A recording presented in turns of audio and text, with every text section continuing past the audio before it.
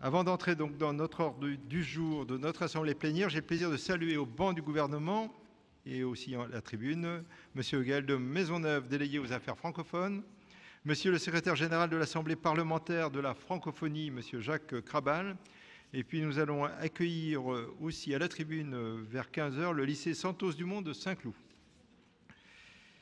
Nous devons procéder donc à l'élection d'une vice-présidente ou d'un vice-président du bureau. Mes chers collègues, je vous rappelle que suite à la démission de Bruno Gentil, représentant le groupe Environnement et Nature, de son poste de vice-président, notre ordre du jour appelle maintenant l'élection d'une vice-présidente ou d'un vice-président du bureau. Les modalités de cette élection sont précisées dans notre règlement intérieur, que je vous rappelle.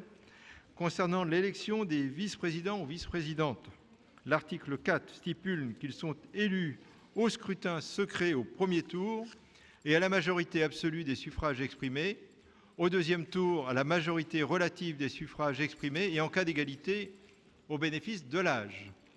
Leur désignation se fait au scrutin plurinominal. Les bulletins blancs sont comptés dans les suffrages exprimés, les bulletins nuls ne le sont pas à peine de nullité, les bulletins déposés ne doivent pas porter plus de noms qu'il y a pour chaque scrutin de sièges à pourvoir. Tous ces votes ont lieu au scrutin secret et par appel nominal à la tribune. J'ai reçu la candidature de Michel Badré au nom du groupe Environnement et Nature. Si vous voulez bien, s'il n'y a pas d'autres candidats, nous allons procéder au vote. Vous trouverez sur vos pupitres deux bulletins de vote, l'un vierge de tout nom, l'autre avec le nom du, candidat déclaré, Michel Badret.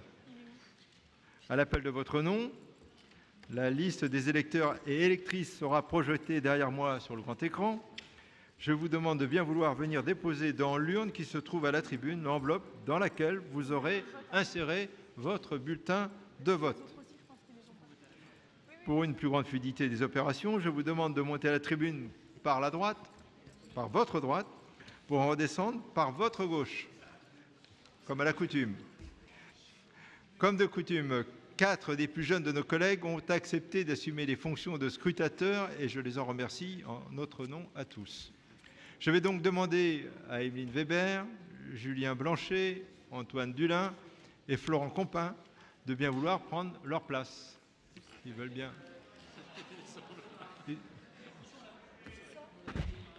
Ah, ils ont gagné du temps. Ils sont formidables, les jeunes. Allez. Euh, et puis je vous donne une dernière communication. C'est que je ferai les informations du bureau, du bureau pendant le dépouillement.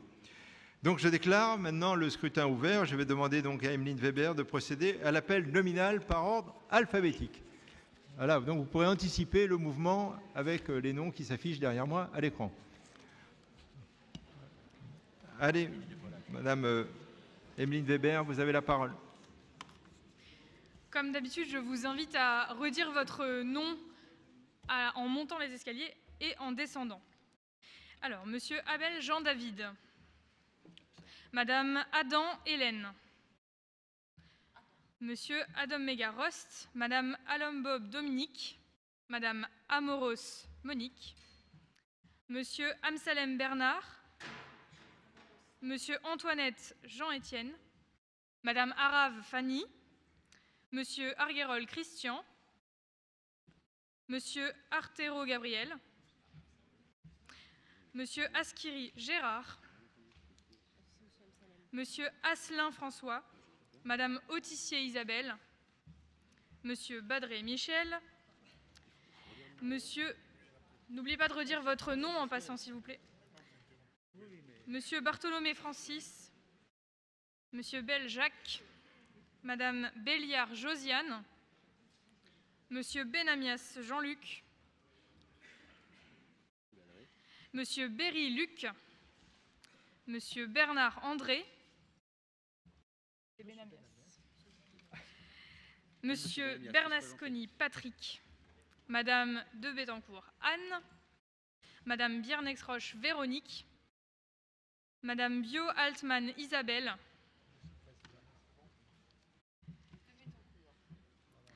Monsieur Blanc Marc, Madame Blanc Marie-André. Madame Blancard Patricia, Monsieur Blanchet Julien, qui viendra plutôt à la fin, pardon. Madame Blin Véronique, Monsieur Bocara Frédéric, Madame Boisdin Dubrul Marie-Hélène, Monsieur Bonduel Antoine, Madame Bonneau Marie-Thérèse, Monsieur Bontemps Jackie, Redonnez bien votre nom à l'aller et au retour, s'il vous plaît. Madame Bouchot-Choisy Inès. Monsieur Bougrain-Dubourg Alain. Tu, viens Oui, passe et dis ton nom. Beryl.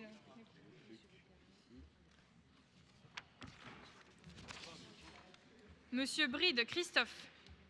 Bon temps. Madame Brugère Béatrice. Madame Brunet Sylvie. Monsieur Bussy Claude. Monsieur Cabrespine Jean-Louis. Monsieur Cadar Thierry. Madame Caïto Marie-Claire.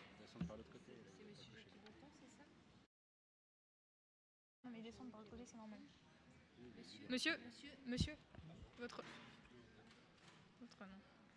Merci. Très bien. Monsieur Cambacérès Jean-Marie.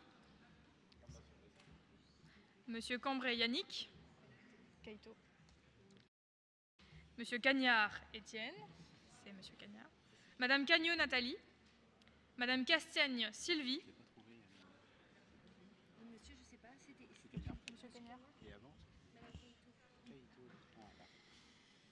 Euh, Madame Castera Dominique, euh, Monsieur Cavagnier Bruno, Cagnot Nathalie. Monsieur Chagnou Jacques, Monsieur Chassant Michel, Madame Château Véronique, Madame Chez Michel, Madame Chazot Françoise,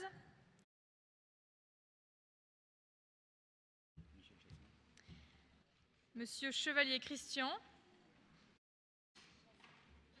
Chazot Françoise, Monsieur Chrétien Patrick, Madame Clavérol Cécile, Michel Monsieur Clévenot Laurent, Monsieur Cochonneau Claude, Madame Collin Nathalie, Monsieur Colli Bertrand, Monsieur Copin Florent qui viendra après, Monsieur Cordès Alain, Madame Coton Pascal, Madame Cotier Jacqueline, Madame Couder Anne-Marie, Monsieur Couet Thierry, Madame Couvert Carole, Monsieur Crouzet Jean-Pierre, Madame Cuny Claire, Monsieur Dagès Jean-Yves, Monsieur Daven Hervé, oui,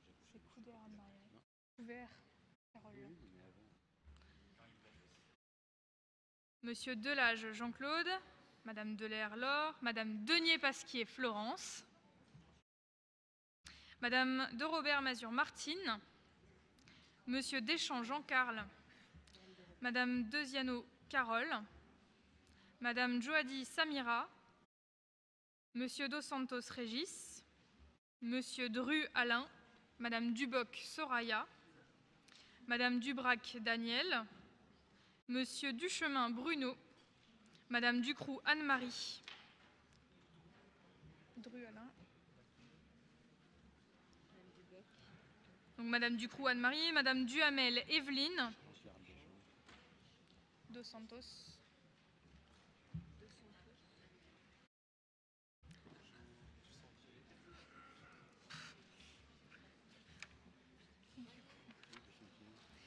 Monsieur Dulin Antoine qui passera aussi plus tard. Euh, Madame Duprès Sophie. Madame Dutoit Marianne. C'est du chemin Bruno.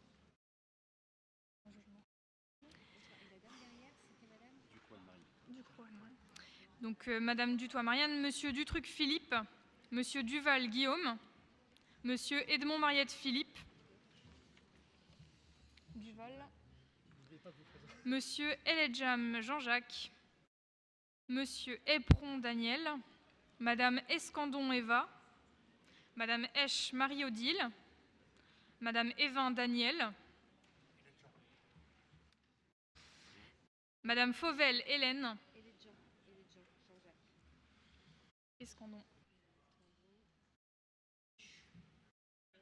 Monsieur Ferretti Alain, Monsieur Ferré Pascal, Madame Fouché Catherine, Monsieur Fourier Paul, Monsieur Fournel Gilles, Monsieur Fourny Joël, Monsieur Gailly Pierre-Antoine, Madame Gallet Dominique, Monsieur Gagneron Étienne, Gailly, Gailly aussi vient de passer, Monsieur Garcia Benoît, Monsieur Gardinal Didier, Madame Garielle Marie-Pierre,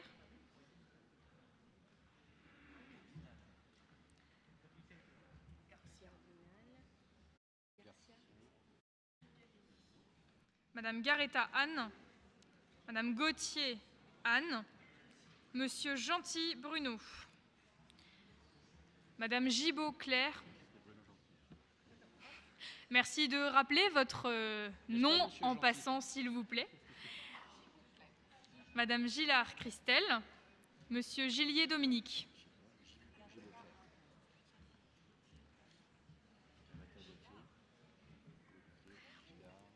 Monsieur Gillier Dominique, Madame Goujon Stéphanie, Gillier. Monsieur Goulme Gilles, Madame Grard Marialette, Monsieur Grison Christophe, Monsieur Griveau Frédéric, Monsieur Grosset Jean, Monsieur Guénan Janson Didier, Monsieur Guglielmi Philippe.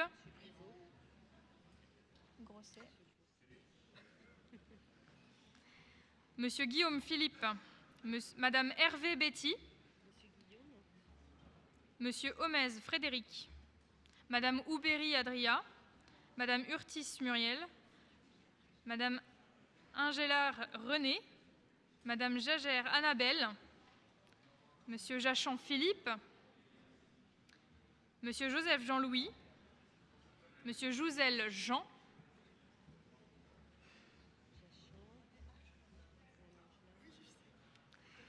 Monsieur Jouzel Jean, Monsieur Junique Stéphane, Monsieur Keller Daniel,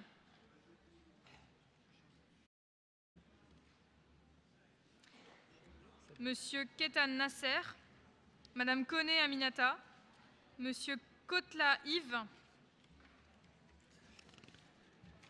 Nasser Ketan,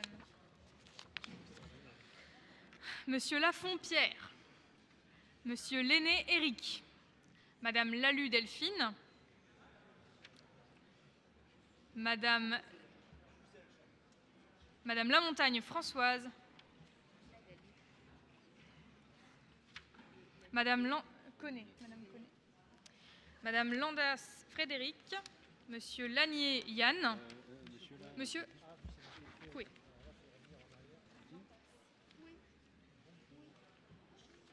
Monsieur Leboulaire Hervé, Françoise Lamontagne. Monsieur Coué. C'est par, non, c'est par là-bas qu'il faut sortir pour redire votre nom, monsieur. Désolé. Madame Le Floc Véronique. Le Floc Véronique. Lanier. Monsieur Leland Christian. Madame Le Cerf Christine. Madame Le Châtelier Laure. Monsieur Le Gagnois Serge. Chut, chut. Madame Le Cerf Christine. Le Châtelier. Monsieur Lejeune Gontran. Oui. Madame Lejeune Sylviane. Monsieur Lenanquer Patrick. Madame Léonie Cindy. Madame Levaux Marie-Béatrice. Madame l'excellent Patricia. Monsieur Lobéo Joël. Madame Manière Raphaël. Monsieur Marmier Dominique. Madame Marteau Pascal. Madame Martel Marie-Claire, Madame Martini-Cousti Élodie,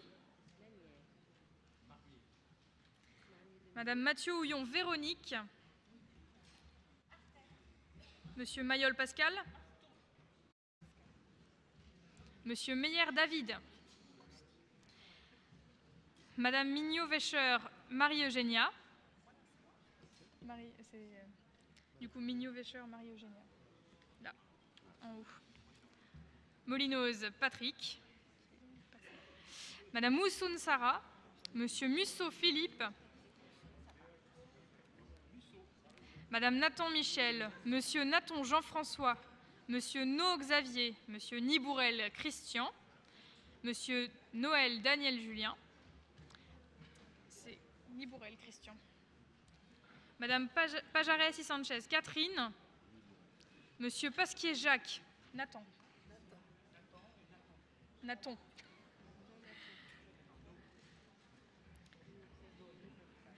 Madame. Vous êtes très présent Non, c'est- là-bas.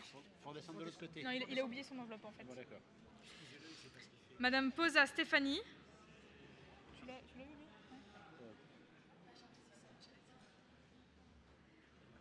Monsieur Pérez Eric. Euh, doucement. Doucement, doucement, ralentissez. Monsieur, Euh, Pérez. Monsieur Pister Jacques. C'est lui. Monsieur Pillet Philippe. C'est lui. Monsieur Pillard Jean-François. C'est lui. Madame Poplin Agnès. Monsieur Potier Jean-Michel. Madame Prévost-Madère Joël. Monsieur Quarez Christophe.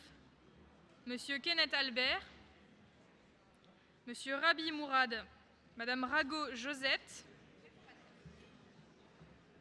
Monsieur Renard Antoine. Madame Riquier Sauvage Dominique. C'est comment Josette Rago. Dominique Riquier Sauvage. C'est Dominique Riquier Sauvage. Corée. Renard. Monsieur Ritzenthaler Albert. Qui est là. Monsieur Rivière Dominique. Madame Roche Sabrina. Madame Roger Laurence. Monsieur Roguet Daniel. Madame Roudil Isabelle. Monsieur Roustan Claude. Madame Roy Geneviève. Madame Roudetsky Jean Françoise.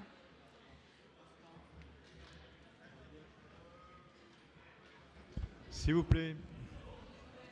Monsieur Sagesse Bernard. Madame Suet Christine. Monsieur Saint-Aubin Philippe. Ah. C'est Adam Mégaros, la première, la première page. Ah, tu, tu foutes la merde, toi. Hein. Tu vas pas t'empêcher. S'il vous plaît, un peu, un peu de silence, s'il vous plaît. S'il vous plaît. Saint-Aubin Philippe. Madame Sauvageau Françoise. Madame Seyé Véronique. Monsieur Serre Jean-François. Monsieur Stalter Bernard. Monsieur Souve Sosefo. Monsieur Técher Jacques. Sauvageau Françoise. Monsieur Teskouk Jamal. Madame Tessèdre Christelle. Madame Thierry Sophie. Monsieur Thiolin Benoît. Monsieur Tomich Michel. Monsieur Touvenel Joseph. Madame Tissokol Catherine. Monsieur Tonia Octave. Monsieur Tranchant Bernard. Madame Trélucane Marie. Tranchant et. Madame Trosianski Olga. Madame Valentin Christine. Madame Verdienave Nicole. Petit Sokol. C'est là. Monsieur Vernandon Christian. Verdienave. Trosianski. Trosianski. Vernandon. Vial Anne-Claire. Madame Vigneault Martine. Vernodon. Madame Vigneault. Madame Vion Pascal. Monsieur Vivier Bernard. Monsieur Varnier Régis. et Madame Emeline Weber. J'invite les quatre scrutateurs à voter. Sauf que moi, j'ai pas de... Moi, j'ai dû loupé. Euh... Ah oui, je l'avais la mienne. Je, peux... les lire. Ah. Madame Vion. Voté pour toi euh, hein Non, je crois que t'as pas le droit. Allez, vas-y, vas-y.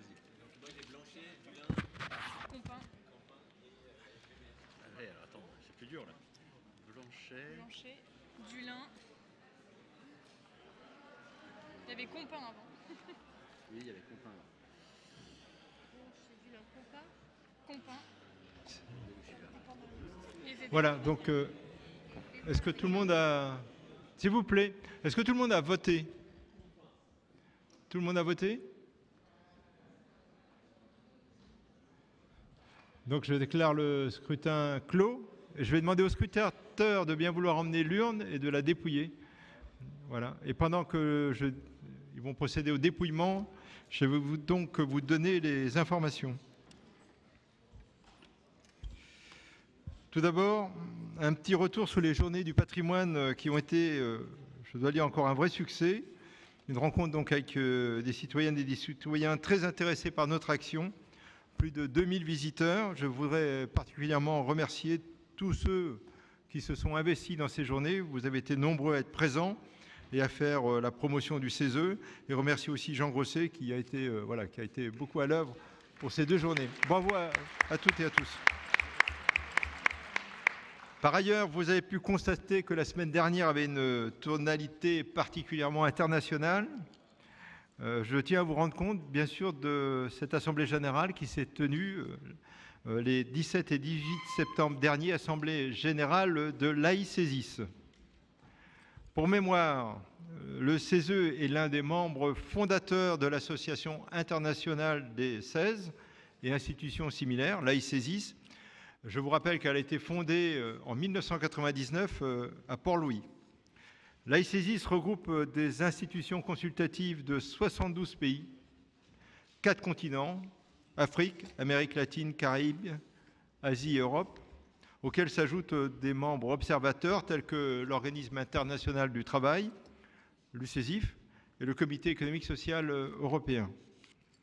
C'est une enceinte qui a trois missions essentielles de faciliter les échanges d'expériences, bien sûr, entre ses membres.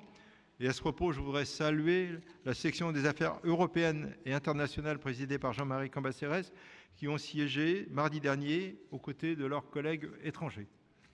D'encourager aussi euh, la création d'assemblées de la société civile organisée, euh, c'est-à-dire euh, défendre cette démocratie participative et la bonne articulation entre démocratie représentative et démocratie participative et enfin de promouvoir leurs fonctions consultatives auprès des pouvoirs publics. Le CESE a joué un rôle moteur en assurant notamment la présidence de l'ICESIS de 2003 à 2005, mais à partir de 2010, le CESE s'est malheureusement retiré du conseil d'administration au grand regret de l'ensemble de nos partenaires. Lors de l'Assemblée générale de l'an dernier à Saint-Domingue, Carole Couvert, au nom du CESE, a proposé notre candidature au conseil d'administration qui a été retenu. Et lors de la réunion du conseil d'administration à Abidjan en mars dernier, nous avons proposé d'accueillir l'Assemblée générale à Paris. Nous avons donc accueilli la semaine dernière 40 délégations étrangères, 130 participants, 20 présidents de 16 et institutions similaires. Alors, outre les échanges d'expériences, les travaux des délégués ont porté sur un thème de travail qui était porté par la présidence roumaine, à savoir l'ère numérique et ses conséquences sur le travail, la formation, le dialogue social et le développement économique. En marge de cette réunion, j'ai pu rencontrer de nombreuses délégations en entretiens bilatéraux. Le Brésil, la Chine, la Corée du Sud, la Côte d'Ivoire, la Grèce, la République centrafricaine, la Russie, le Sénégal, le Vietnam. Cela m'a permis de mieux connaître le fonctionnement d'institutions similaires, mais aussi de conforter nos coopérations existantes, par exemple avec la Côte d'Ivoire, la Chine, le Vietnam, et d'en lancer, lancer deux nouvelles, comme le Brésil et la Russie.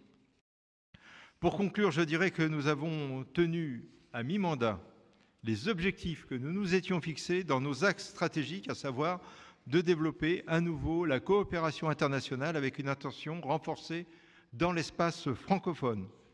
mais également de contribuer à la relance du projet européen. L'Europe sera justement l'objet de la séance plénière du 14 novembre prochain, lors de laquelle nous allons avoir le plaisir d'accueillir Lucas Jaillet, nouveau président du Comité économique et social européen. C'est une réussite. Je tiens vraiment à remercier toutes les équipes politiques et administratives qui ont contribué à repositionner le CESE dans son rôle international. Cela est d'autant plus important dans un contexte où l'on voit monter bien sûr les populismes et les régimes de démocratie illibérale.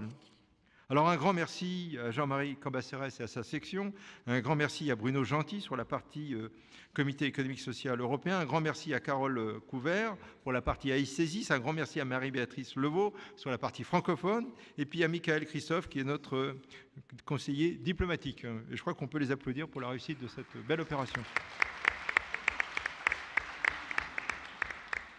Je reviens maintenant sur notre action nationale et sur la réforme constitutionnelle, aussi et surtout sur notre propre réforme, celle que nous avons engagée dès le lendemain de notre élection pour donner au CESE la place que nous estimions être une place forte au sein des institutions de la République.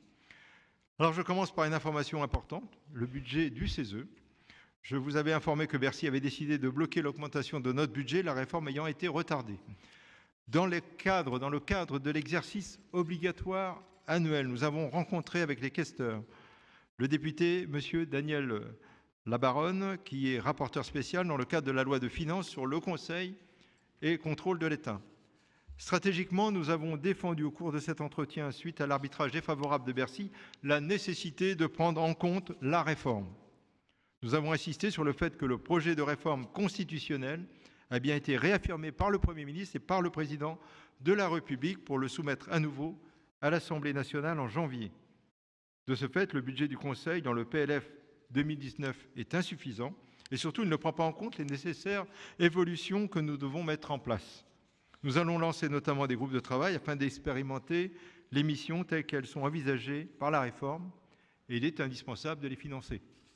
Nous avons par conséquent défendu la nécessité d'augmenter notre budget. Je crois que nos arguments ont porté. Pour continuer sur la réforme, nous sommes aujourd'hui à mi-mandat. Nous avons engagé depuis le début de la mandature une nouvelle façon de travailler avec la volonté commune de redonner pleinement au CESE son rôle institutionnel. Cette nouvelle méthode n'a pu fonctionner qu'avec l'engagement des présidentes et des présidents de formation de travail qui ont rendu possible cette profonde évolution. Nous avons pu nous appuyer fortement sur leur implication pour rééquilibrer, par exemple, les saisines d'initiative et les saisines gouvernementales, pour travailler en section tout en s'ouvrant aux citoyens, mais aussi au travail en partenariat. Bref, une nouvelle méthode de travail qui a été impulsée par le Bureau et rendue opérationnelle par les formations de travail sous l'impulsion de ses présidentes et présidents. Pour rendre compte de ce travail, le Bureau a arrêté la date du 23 octobre pour cette plénière de restitution de cette première partie de mandature. L'idée de cette plénière, c'est d'organiser trois tables rondes. Une table ronde sur les saisines gouvernementales et saisines obligatoires. Ce sera une manière de voir comment nous avons appréhendé notamment les saisines obligatoires dans un temps contraint. Une sur l'ouverture de nos travaux aux citoyens avec les pétitions et plateformes collaboratives. Et enfin, une dernière table ronde sur les partenariats. Chaque table ronde sera conclue par un grand témoin, membre du gouvernement, pétitionnaire, jeune ayant participé à la plateforme, membre de la Cour des comptes ou défenseur des droits. Nous valoriserons au cours de cette plénière la méthode de travail parce qu'elle est centrale. En revanche, concernant les avis adoptés en plénière depuis le début de notre mandature, nous travaillons à un événement qui mettra en avant le travail des 80 rapporteurs ou rapporteureux, mais nous organiserons cet événement plus tard car il suppose une organisation plus lourde. Pour terminer sur la réforme et faire suite au séminaire, j'ai lancé la première réunion avec les présidentes et présidents de formation de travail. Elle se tiendra le 17 octobre. Nous allons aussi demander à chaque rapporteur de faire un point en plénière dans les six mois qui suivent le vote de son avis sur toutes les actions politiques et les opérations de communication pour le promouvoir. Enfin, et pour faire suite au séminaire de gouvernance du 13 septembre 2018, qui, je vous le rappelle, s'est articulé autour d'un travail commun entre les présidentes et présidents de groupe, entre les présidentes et présidents de formation de travail et le bureau, le bureau a validé ce matin les comités de pilotage pour améliorer notre fonctionnement et anticiper la réforme. Alors, premier comité de pilotage, instruction générale du bureau et fonctionnement du bureau, il aura pour référent Dominique Gillier. La préfiguration des futures formations de travail aura pour référent Pierre-Antoine Gailly. Les autres comités sont axés sur l'expérimentation. Ils sont donc majeurs pour l'avenir de notre Assemblée. Alors l'un sera sur le recours à l'expertise, y compris expertise de controverse. Il aura pour référent Michel Badré. Un autre sur le tirage au sort des citoyens participant aux travaux dans les formations de travail, avec comme référent Antoine Dulin. La saisine automatique sur les projets de loi à caractère économique, social ou environnemental aura pour référent Jean Grosset. Les partenariats avec pour référent Michel Chassan. Je précise que ces comités constitués de trois membres du bureau peuvent être aussi ouverts à trois membres de la gouvernance, que ce soit les groupes ou les sections. Il revient à ces comités donc de préparer un cahier des charges avec des critères précisant les objectifs, mais aussi les critères d'évaluation, ainsi qu'un calendrier et le budget y afférent. Ces points et la composition des comités seront validés au prochain bureau. Je vous fais également le rendu de la partie plus statutaire du bureau. Démission et changement d'affectation. Groupe de la CGT. Au cours de la réunion de ce jour, le bureau a pris acte de la démission de M. Jean-François Naton au sein de la section des affaires sociales et son affectation au sein de la section du travail et de l'emploi en remplacement de M. Lionel Marie, démissionnaire.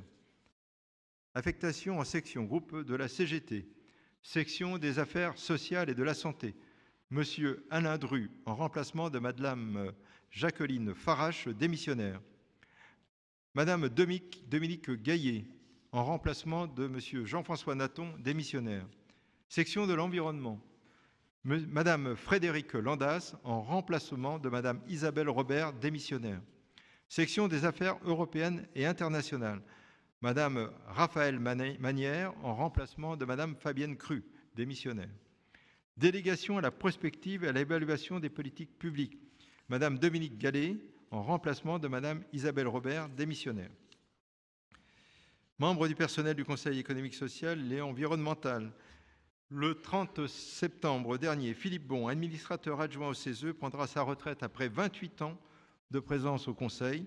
Ses compétences dans le domaine des affaires européennes et internationales sont reconnues de tous depuis de nombreuses années. Mise à disposition du Comité économique et social européen en tant qu'expert détaché pendant dix ans. Il était depuis deux ans secrétaire général de l'Union des 16 francophones, du CESIF. Nous le souhaitons une bonne et heureuse retraite. Je crois qu'il est en tribune et on peut l'applaudir pour tous les services rendus.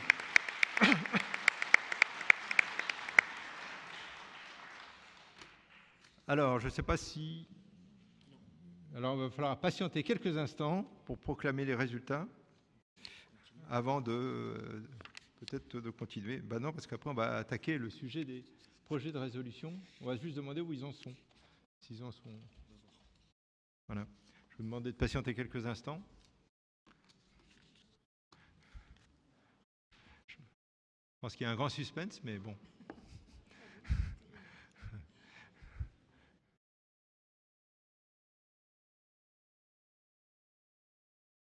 puisque j'ai quelques instants à meubler. Alors, je ne vais pas faire Léon Zitrone, mais euh, je voudrais remercier, alors j'en profite pour remercier Bruno Gentil, qui a été avec nous au bureau pendant deux ans et demi, et je dois dire que ça a été euh, un conseiller très impliqué dans toutes les démarches du CESE, dans toutes les décisions à prendre, quelqu'un de très professionnel, de très, vraiment euh, un camarade en plus tout à fait remarquable pour essayer d'avancer sur de nombreux sujets.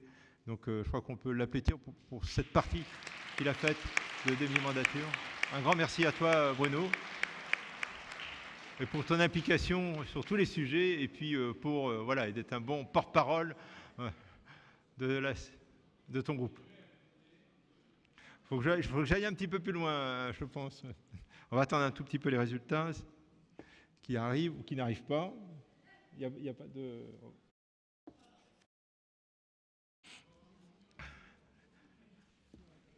Non, je pense que ça ne devrait pas tarder maintenant.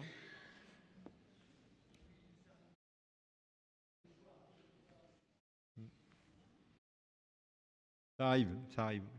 On était à peu près, on était à peu près calé.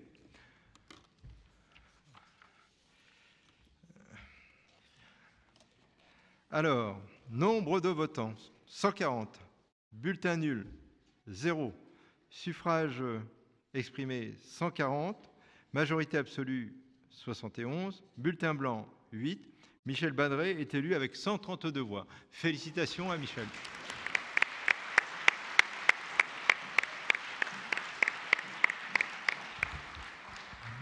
Cher Michel, si vous voulez peut-être dire euh, un mot, je vous passe la parole. Comment on fait? Voilà, ça marche. Merci, Monsieur le Président. Je voulais vous remercier tous euh, de la confiance que vous manifestez. Vous verrez si elle était justifiée plus tard. Mais, Monsieur le Président, vous m'avez euh, enlevé de la bouche euh, la seule chose que je voulais dire, qui était de remercier Bruno Gentil. J'ajouterai quand même un point euh, qui est que pour moi qui l'ai vu de près, comme pour nous autres collègues du groupe, on est tous conscients et nous avons été témoins du souci qu'il avait de mettre en interconnexion le souci de l'environnement, qui est la justification de notre présence ici, et celui de la cohésion sociale, de la participation de toutes les parties prenantes la seule chose que je peux vous assurer, c'est que j'essaierai de continuer dans la même ligne si j'y parviens. Donc merci à lui et merci à vous tous. Merci Michel. Examen donc maintenant du projet de résolution. Mes chers collègues, nous allons maintenant examiner un projet de résolution qui est présenté par le Bureau sur proposition de la section des affaires européennes et internationales, qui est donc présidée par Jean-Marie Cambacérès, cette résolution du CESE a été préparée en vue du 17e sommet de la francophonie qui aura lieu les 11 et 12 octobre prochains à Erevan, Arménie.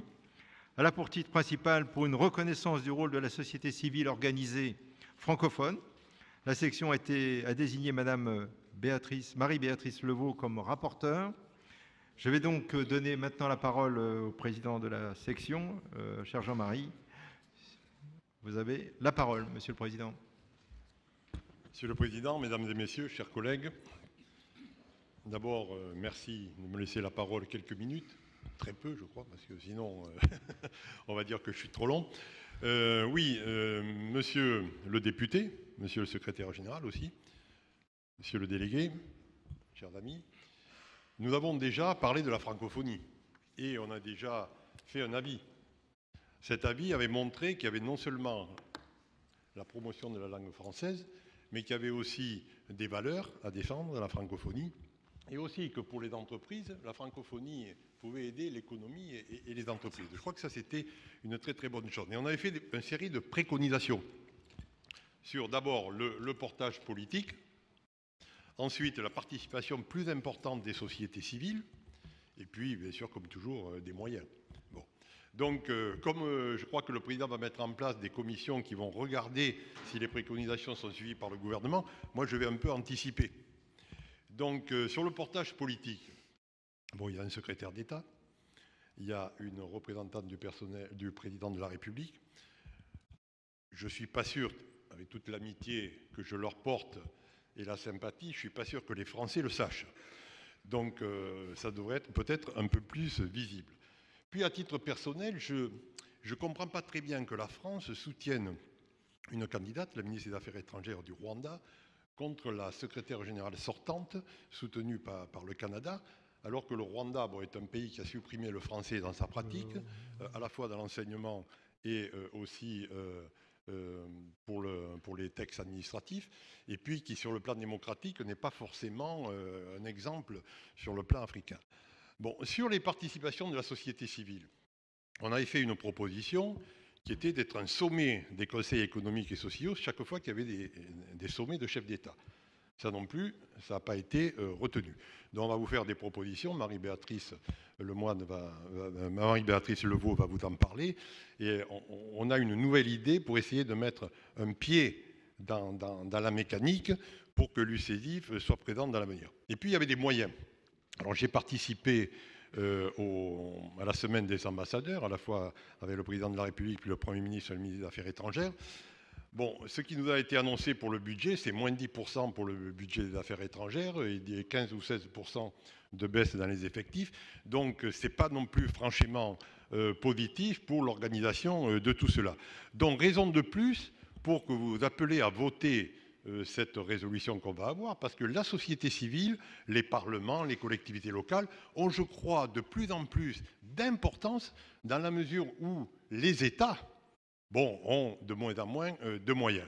Donc cette proposition qui est que l'UCD devienne un partenaire officiel maintenant de l'OIF me paraît euh, minimum, mais très importante. On espère que celle-là, elle sera acceptée. Merci à vous. Monsieur le Président, je vais passer la parole euh, à Marie-Béatrice Levaux pour l'exposé des motifs.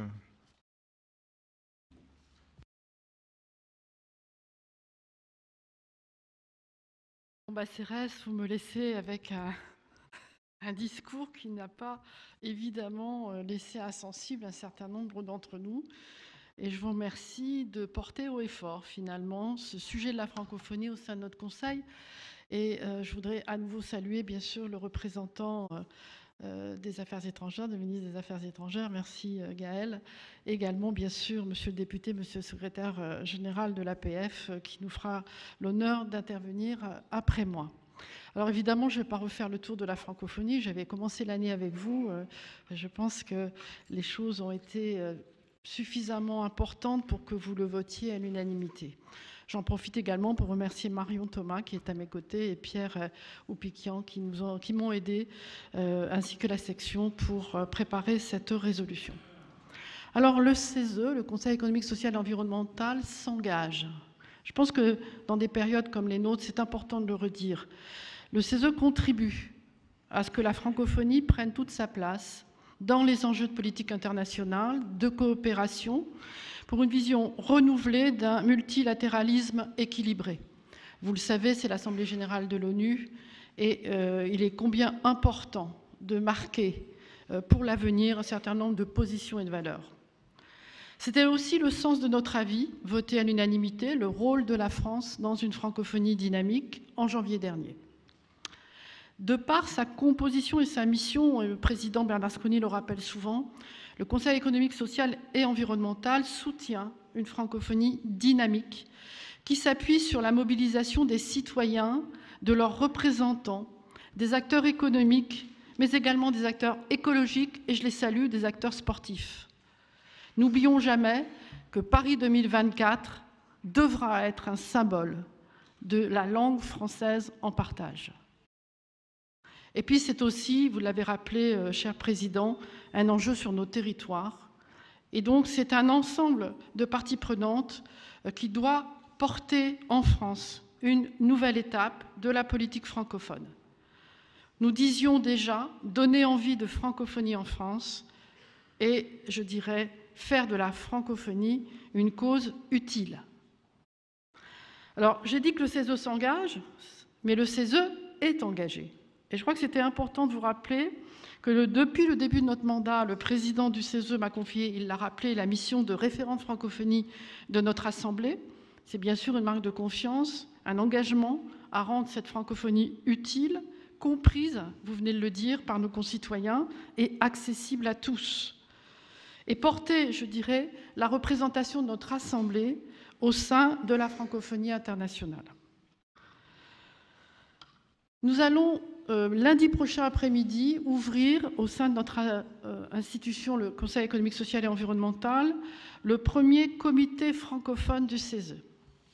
Ce comité, nous préparerons évidemment euh, la journée internationale de la francophonie du 20 mars prochain en proposant de faire de notre assemblée un lieu de convergence de la société civile organisée francophone et un carrefour citoyen de nombreuses initiatives francophones dans notre pays. Donc ce comité francophonie du CESE est ouvert à chacune et chacun d'entre vous. Il traverse évidemment euh, nos groupes et nos organisations de travail et il y a déjà un certain nombre d'entre vous qui se sont mobilisés. Et donc il se réunira tous les mois, normalement tous les premiers lundis après-midi, pour préparer euh, cette journée internationale du 20 mars 2019 et rendre pérenne un certain nombre des orientations et des résolutions que nous avons euh, portées lors de notre avis.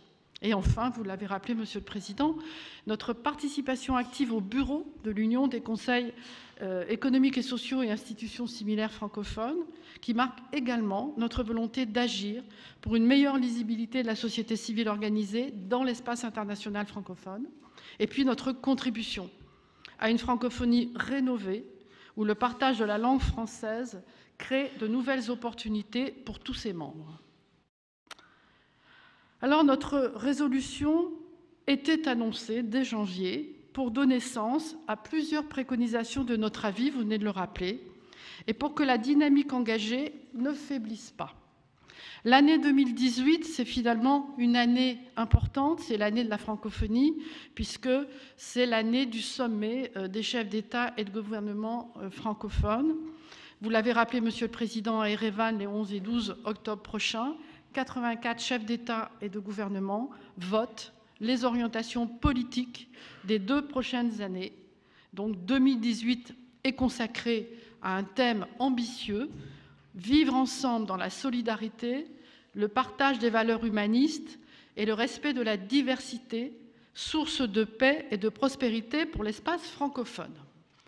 Ce thème est celui qui a été porté par euh, les organisations et fera l'objet d'une déclaration à la fin, euh, et d'orientation évidemment, à la fin euh, de ce sommet. Donc c'est un contexte ambitieux, prometteur. Et bien sûr que dans ce contexte, le Conseil économique, social et environnemental rappelle ses préconisations pour mieux associer et renforcer le rôle de la société civile organisée francophone. Les conseils économiques et sociaux et institutions similaires francophones sont porteur des défis démocratiques et des ambitions engagées par le sommet d'Erevan. Les instances de représentation de la société civile organisée doivent jouer un rôle plus majeur dans l'espace international francophone et au sein de l'OIF.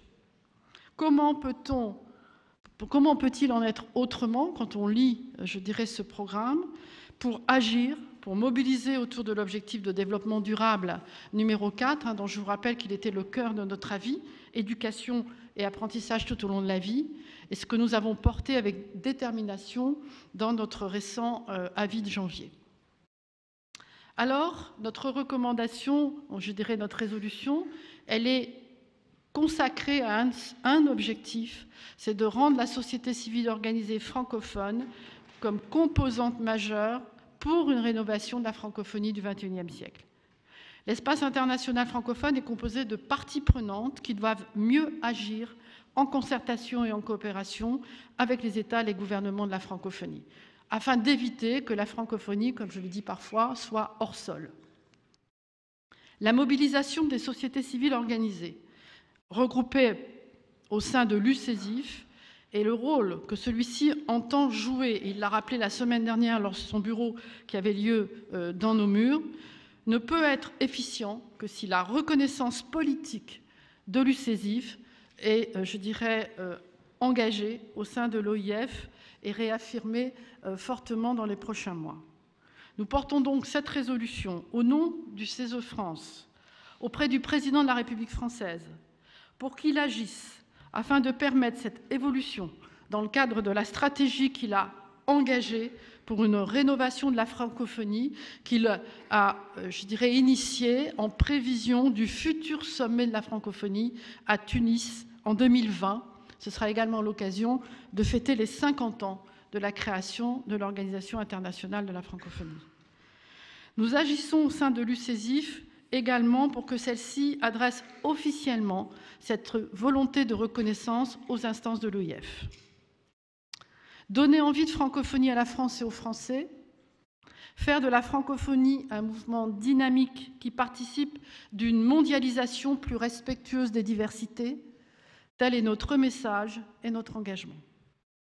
Alors, Monsieur le Président, avant euh, euh, que, vous nous présentiez notre recommandation à partir des travaux de la section affaires européennes et internationales, je tiens à remercier personnellement euh, Jacques Krabal, secrétaire général de l'Assemblée parlementaire de la francophonie, d'avoir accepté notre invitation à prendre la parole et d'avoir aussi invité par ma présence, le Conseil économique social France a présenté son propre avis lors des travaux de l'Assemblée générale de l'APF en juillet dernier à Québec.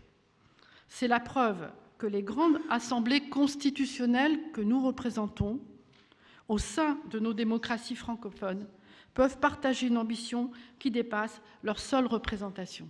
Voilà ce que je voulais vous dire en préalable de cette résolution et je vous remercie de votre attention et de votre intérêt pour la francophonie.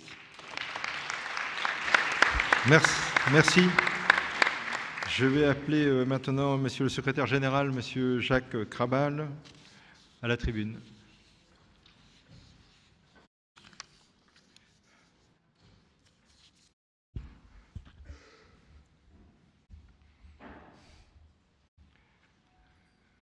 Monsieur le secrétaire général, vous avez la parole. Monsieur le Président, euh, merci de votre invitation.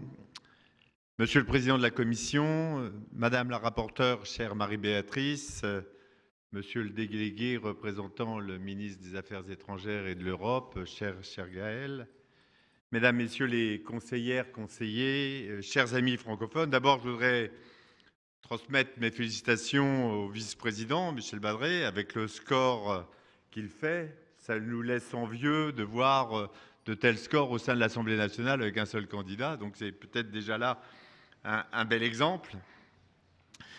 C'est un immense plaisir euh, que vous me permettez de m'adresser à vous ici dans cet euh, hémicycle pour la première fois, dans cette séance plénière du CESE.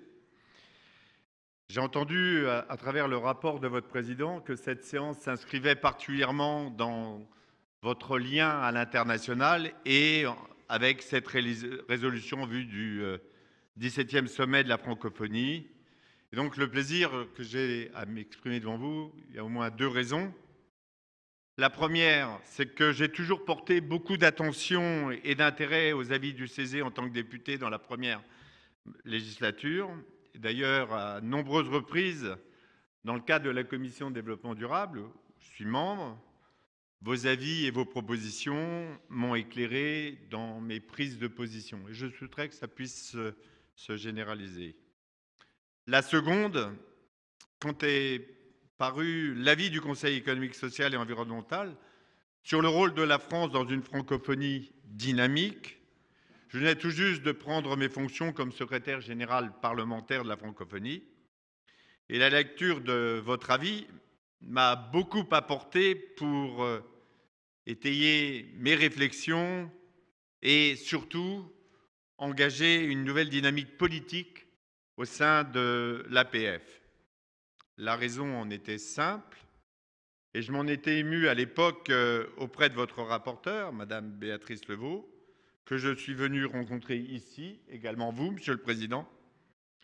Dans votre riche rapport de plus de 130 pages, L'avis ne fait référence, ne cite qu'une seule, une seule fois l'Assemblée parlementaire francophone et absolument rien sur le fond, rien sur ses actions. Donc c'est interpellant pour quelqu'un qui vient de prendre le poste de secrétaire général parlementaire. Pourtant, comme vous le savez tous, mais je pense qu'il faut le répéter, l'APF est une institution de la francophonie au même titre que l'OIF. Elle est l'assemblée politique reconnue comme telle par les chefs d'État, les gouvernements de l'espace francophone. Elle est l'assemblée consultative de la francophonie et à ce titre assure la représentation des souverainetés nationales au sein de la francophonie internationale.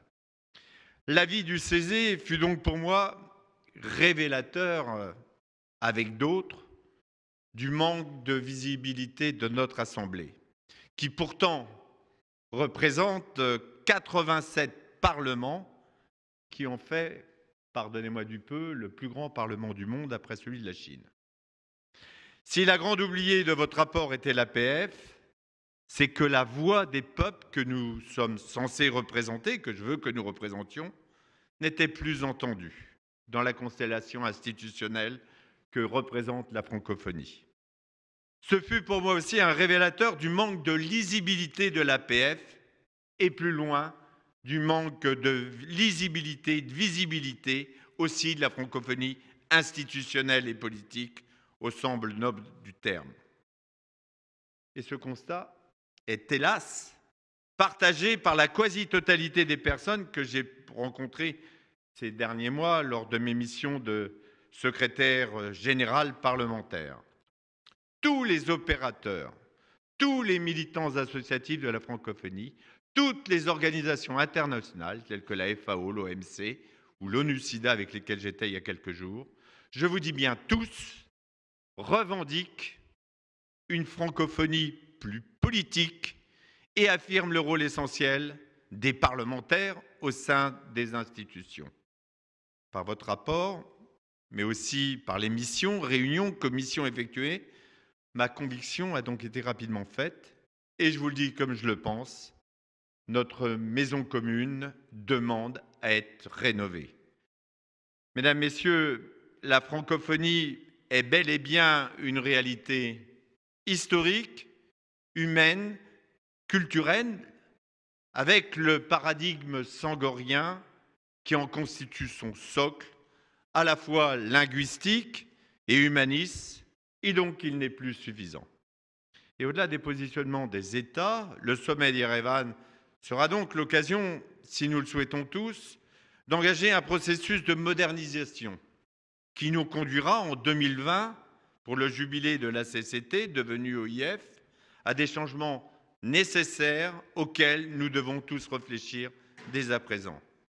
Nous sommes donc euh, invités aujourd'hui à moderniser les structures de la francophonie pour qu'elles répondent davantage aux aspirations des peuples que nous représentons et à les rendre plus lisibles, plus concrètes et plus efficaces. En un mot plus pragmatique, ce mot vous convient particulièrement. Nous devons dès maintenant penser à un nouveau modèle qui réunisse peuple et gouvernement francophone pour agir en commun avec, mon sens, deux impératifs. Asseoir la légitimité politique de l'APF dans les institutions de la francophonie, intégrer la société civile organisée dans ce nouveau modèle qu'il nous reste donc à construire. Je suis convaincu qu'un engagement actif en faveur de cette interaction entre société civile et les parlements de l'espace francophone permettrait de renforcer l'efficacité des institutions représentatives et la légitimité des gouvernements. Dans ce monde en pleine mutation, secoué par les crises économiques, les conflits armés, les dérèglements climatiques et les migrations, qui peut croire que l'OIF seul pourra relever les défis, trouver les solutions ou revendiquer le monopole de la construction du projet francophone? La future secrétaire générale, quelle qu'elle soit, dès son élection, devra pour moi tourner le dos, tout du moins se tourner vers le monde économique, l'entrepreneuriat, mais aussi les associations et les jeunes. Je reviens d'ailleurs de la deuxième conférence internationale des jeunes à Genève. Cette jeunesse a affirmé sa volonté d'être davantage consultée, écoutée par les institutions et pas seulement à la veille d'un sommet. Tous ces jeunes appellent à l'adoption d'un nouveau contrat social entre les États et la société. Une société inclusive pour lutter contre les inégalités, faire reculer la faim et la misère. Ils sont aussi et surtout soif d'entreprendre dans le numérique, mais pas que. C'est pourquoi, dans le cadre de l'élaboration du prochain cadre stratégique de notre Assemblée 2019-2022, j'ai invité le Parlement des jeunes de l'APF à nous faire part de leurs propositions sur nos trois orientations stratégiques. Le développement de l'espace culturel, innovation, dynamique, le renforcement de la démocratie et des droits, le développement d'un espace économique inclusif et durable. Dans quelques semaines, le secrétariat général de l'APF mettra en ligne une plateforme collaborative et je souhaite l'ouvrir plus largement. Votre résolution, dès qu'elle sera votée, y aura toute sa place. Et je vous invite également à nous faire part de vos avis. Si je vous propose de vous associer à ce travail d'élaboration, c'est que les parlementaires ont conscience que la société civile a toujours été un puissant vecteur social, politique et économique. Depuis l'Antiquité à la Révolution française, des Lumières aux Trente Glorieuses, sur les quatre continents, des hommes et des femmes ont toujours su se lever, se rassembler pour refuser la fatalité et proposer des solutions innovantes et concrètes en faveur de la démocratie des droits dans le domaine culturel et économique. Et pour parler du domaine économique, les études montrent que deux pays qui partagent des liens linguistiques tendent à échanger environ 65% de plus que s'ils n'en avaient pas. Les échanges commerciaux induits par le partage du français entre une trentaine de pays francophones sont à l'origine de 6% de la richesse en plus par habitant en moyenne. Donc, dans un contexte de compétition linguistique mondiale, une langue n'a d'avenir que si elle est porteuse d'avantages personnels et collectifs. Le français doit devenir, et j'ai envie de dire redevenir, la langue de l'employabilité, propice aux initiatives économiques, à la création d'entreprises et à l'entrepreneuriat. La société civile dans les pays francophones est force de proposition dans le domaine économique. Mais elle a besoin pour cela, dans cet espace francophone, d'être accompagnée d'un point de vue législatif. Je pense en effet que notre APF a vocation de devenir un incubateur de propositions législatives progressistes pour que les parlements de l'espace francophone puissent délibérer favorablement dans ces domaines. L'APF est dans son rôle, c'est son devoir de proposer à ses sections membres des textes législatifs reprenant les meilleures pratiques à l'exemple de la résolution du Parlement de la Fédération Wallonie-Bruxelles sur la place du français et du plurilinguisme dans les institutions internationales et particulièrement européennes, un enjeu très bien cerné dans la vie du CESE. Et là encore, s'il faut regarder la question des moyens, comme ça a été évoqué tout à l'heure, il est utile de regarder ce que chacun peut faire entre les alliances françaises, les instituts français, l'AUF. Donc regardons pour aussi plus d'efficacité. Et puis après, bien évidemment, il faut que nous regardions la place du français dans ce pays, puisqu'il y a une candidate de ce pays. Je rappellerai que dans ce pays, le français est inscrit dans la Constitution, que c'est la quatrième langue du pays, et que s'il y a un véritable déficit de la pratique de notre langue, le français, regardons d'abord chez nous, en Europe. C'est là que le français est en recul. Donc agissons comme nous le proposent nos collègues du Parlement Fédération Wallon-Bruxelles pour tout mettre en œuvre que nous retrouvions une place dans les institutions européennes internationales. Au-delà de ces aspects linguistiques, qui est fondamental, l'Assemblée parlementaire francophonie s'appuie aussi sur le droit. Et donc, nous devons mettre en œuvre les délibérations pour euh, susciter plus que de l'émoi, mais une volonté d'action sur les mariages forcés, et je l'ai dit tout à l'heure dans le domaine économique, circuit court, développement économique, mais aussi numérique. Et vous, je le dis, euh, la francophonie doit jouer un rôle majeur dans la réalisation des objectifs de développement durable de l'ONU, en particulier l'ODD numéro 4, assurer l'accès de toutes et tous à une éducation de qualité sur un pied d'égalité et promouvoir les apprentissages tout au long de la vie, Face à la mondialisation, il y a une autre voie, ça a été dit tout à l'heure, celle de la francophonie, portée par la société civile, accompagnée par les parlements. Je pense aussi et surtout au scandale des enfants non inscrits sur les registres d'état civil. Question qui fait directement écho aux ordonnances de Villars-Cotterêts en 1539. Et faire reculer ce scandale plus de 250 millions d'enfants de moins de 5 ans qui n'ont pas d'identité, qui ne peuvent donc pas vivre et ils ne peuvent pas avoir de droits. Donc euh, je suis particulièrement heureux qu'au sommet des les avis des OING et de l'APF au chef d'État exigent tous deux l'établissement des registres d'état civil fiables, gratuits et publics. C'est une première réussite dans l'éradication de ce scandale humain.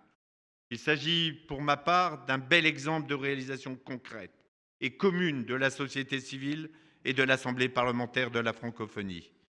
Imaginez alors les progrès rapides que nous pourrions réaliser si la francophonie donnait toute sa place à la société civile organisée.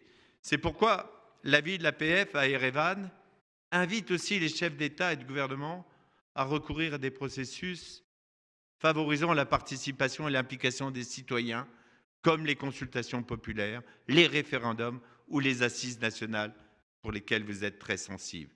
Vous l'avez compris, l'objectif de ces recommandations est de lancer la discussion sur la modernisation des structures de la francophonie avec comme question centrale la place et la représentation de la société civile organisée dans nos institutions. Il me semble que notre recommandation fait l'écho à votre proposition de mise en place du Forum de la société organisée. Monsieur le Président, Mesdames, Messieurs, ce n'est pas de la flagornerie de vous dire qu'il me semble donc important d'élargir le champ de consultation des conseils économiques et sociaux regroupés au sein de l'Union des conseils économiques et sociaux francophones sur des sujets qui comportent des enjeux importants pour la vie collective francophone. Et je mettrai tout en œuvre en tant que secrétaire général parlementaire pour que votre union puisse participer au sommet de Tunis. Madame Levaux, c'est particulièrement à quel point à l'APF nous sommes très, très attentifs à vos recommandations.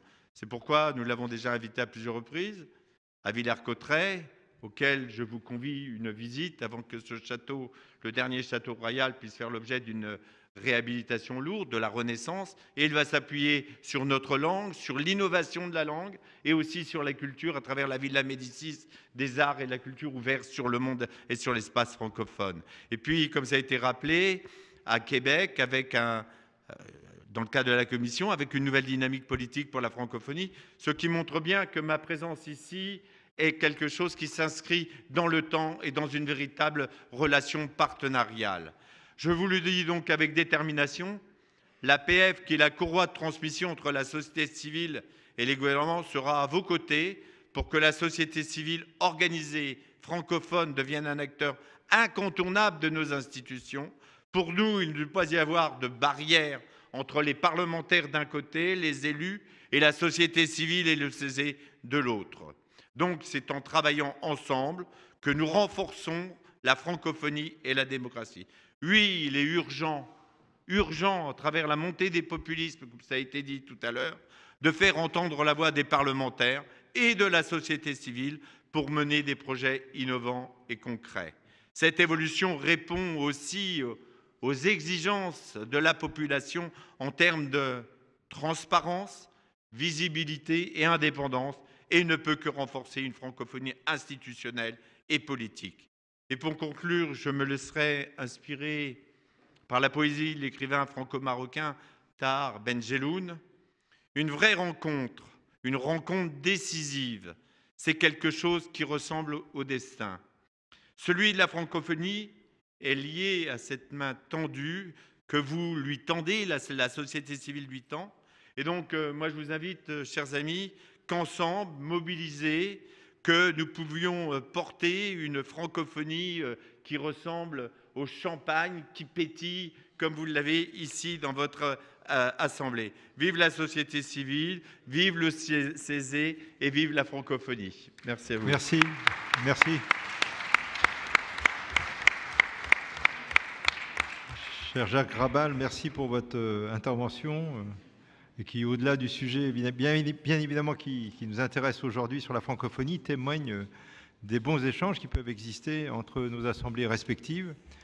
Euh, monsieur le député, euh, donc merci de votre venue, merci de vouloir travailler ensemble. C'est la meilleure manière, je pense, de mieux se connaître et d'évoluer en complémentarité. Vous nous y invitez fortement, c'est bien, nous y répondrons bien sûr de façon forte aussi, et la bonne articulation euh, francophonie, démocratie représentative, démocratie participative, nous devons tous y apporter notre pierre. À présent, chers collègues, nous allons euh, évidemment vous présenter le texte au nom du bureau sur ce projet de résolution qui est intitulé, je vous le rappelle, pour une reconnaissance du rôle de la société civile francophone. Donc c'est le texte qui vous est soumis évidemment pour vote. Euh, avant de procéder évidemment au vote, je demanderai si certains veulent intervenir de leur place, bien évidemment. Peut-être deux points avant. le premier, c'est que nous sommes convaincus ici, ça a été dit, répété, mais il faut peut-être encore le dire, qu'il existe entre la démocratie francophone d'un côté, c'est-à-dire l'organisation internationale OIF de la francophonie, donc quelle que soit sa présidente ou président, et ses 84 États membres, et l'approche linguistique de la langue française de l'autre, il existe un espace pour la société civile francophone. Alors cet espace doit permettre de parler, que ce soit des sujets de travail, formation professionnelle, développement durable, économique, dialogue social. Cet espace doit permettre de parler aux francophones du monde entier, surtout ceux qui ont un CES ou une institution euh, similaire.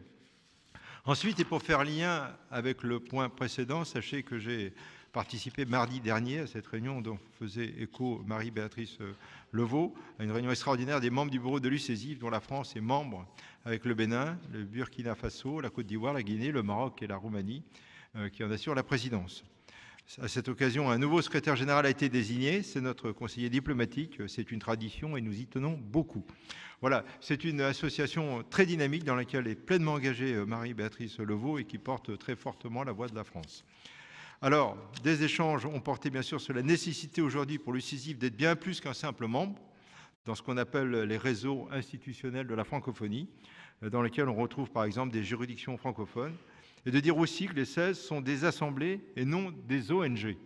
Ça a été dit, répété par tous les États présents à ce bureau. Aujourd'hui, le CESIF mérite d'être euh, véritablement associé en tant qu'acteur institutionnel au sommet de la francophonie organisé par l'OIF tous les deux ans. Et donc, une présence demain beaucoup plus importante à Tunis. C'est impératif. Et d'être invité, bien sûr, à côté des gouvernements et parlementaires. Ce message, il est clair, il est légitime, et c'est bon le moment, c'est le bon moment pour le passer avant que le président de la République n'aille à Erevan dans trois semaines. Voilà, vous avez eu par mail euh, le texte de la résolution. Est-ce qu'il y a des demandes de prise de parole? S'il n'y a pas de demande de prise de parole, donc nous allons procéder au vote et je déclare donc le scrutin ouvert.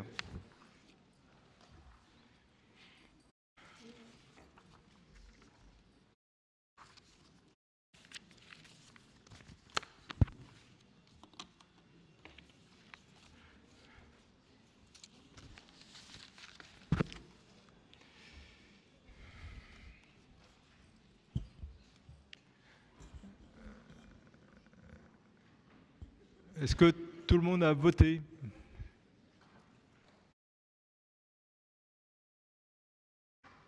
C'est bon? Que, Voilà, ça doit être bon. Ça ne bouge plus, donc je déclare le scrutin clos. Donc la résolution est adoptée pour 146 contre 2, abstention 2. Euh, bravo, euh, chère Marie-Béatrice, pour cette résolution à la quasi-unanimité. Bravo. Bravo et Bravo à toutes les équipes qui ont travaillé euh, sur le sujet. Notre prochaine plénière se tiendra le 9 octobre euh, à 14h30. Elle se réunira avec un ordre du jour, c'est les parcs naturels régionaux. Apport à l'aménagement et au développement durable des territoires et perspectives. C'est un projet d'avis présenté par euh, Alain Ferretti, qui en est le rapporteur, au nom de la section de l'aménagement durable des territoires présidée, par Madame Evelyne Duhamel. Je vous remercie de votre attention et je déclare cette séance plénière leproso.